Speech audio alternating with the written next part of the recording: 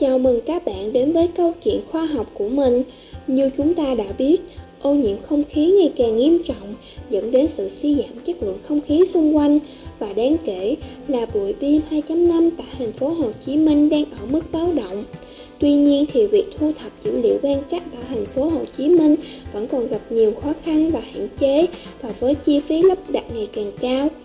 Xuất phát từ vấn đề trên, mình đã nghiên cứu đề tài đánh giá sự phân bố nồng độ bụi PM2.5 tại thành phố Hồ Chí Minh bằng công nghệ viễn thám.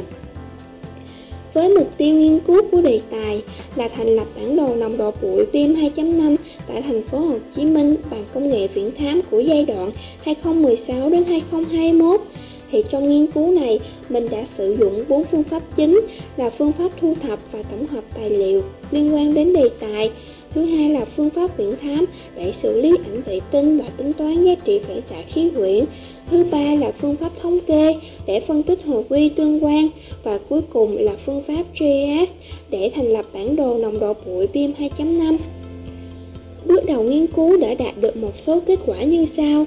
Mình đã tìm ra phương trình hồi quy có độ tương quan cao nhất để tính toán và ước lượng nồng độ bụi PM2.5 bằng ảnh vệ tinh dựa vào mối quan hệ giữa giá trị phản xạ khí quyển, nồng độ bụi PM2.5 quan trắc và dữ liệu khí tượng. Thứ hai, mình đã thành lập được bản đồ nồng độ bụi PM2.5 tại thành phố Hồ Chí Minh và nhận diện được một số khu vực có nồng độ bụi cao như tập trung vào các tuyến đường giao thông, các khu công nghiệp và nơi có mật độ dân cư đông đúc. Mình hy vọng với nghiên cứu nhỏ của mình có thể giúp ích cho công tác quản lý và giám sát nồng độ bụi PM2.5 tại thành phố Hồ Chí Minh. Và cuối cùng một lời nhắn nhỏ cho các bạn có niềm đam mê nghiên cứu khoa học là dám nghĩ và dám làm, hãy bắt tay vào nghiên cứu khoa học thôi nào. Mình mong video này có thể tạo cảm hứng nghiên cứu khoa học cho các bạn trong tương lai. Và cuối cùng là cảm ơn các bạn đã theo dõi câu chuyện khoa học của mình. Và hãy bình chọn cho video của mình nhé.